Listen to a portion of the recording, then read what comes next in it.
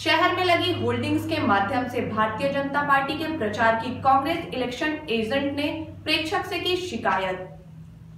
रविवार को कांग्रेस के इलेक्शन एजेंट ने प्रेक्षक के पास पहुंचकर गलत तरीके से भारतीय जनता पार्टी के प्रचार की शिकायत की। उनका कहना है कि सरकारी बिल्डिंगों की आड़ में भारतीय जनता पार्टी का गलत तरीके से प्रचार किया जा रहा है। अखबारों में भी समदड़िया के माध्यम से पार्टी का प्रचार किया जा रहा है। जिसकी उचित जाँच होनी चाहिए।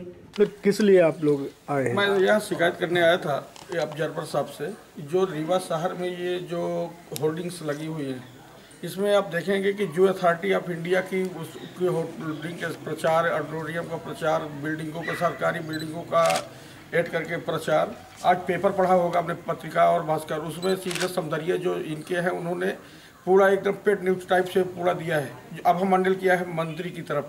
कि मैं ये करूँगा ये करूँगा ये करूँगा।